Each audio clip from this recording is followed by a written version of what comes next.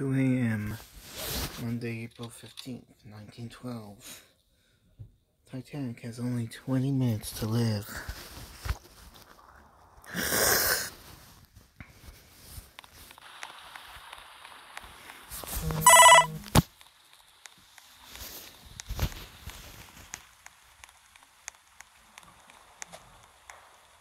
Unless the lifeboats are lowered away.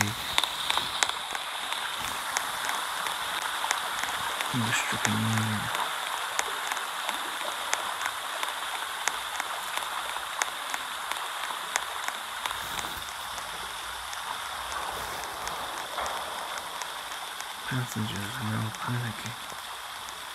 All hell is breaking loose. Board the doomed ship.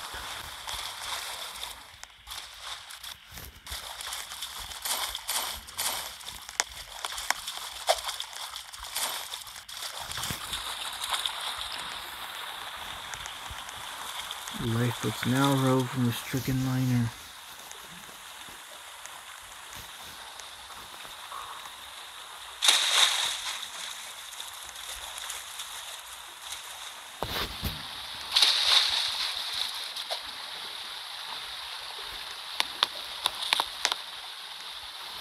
bow had gone under by this time.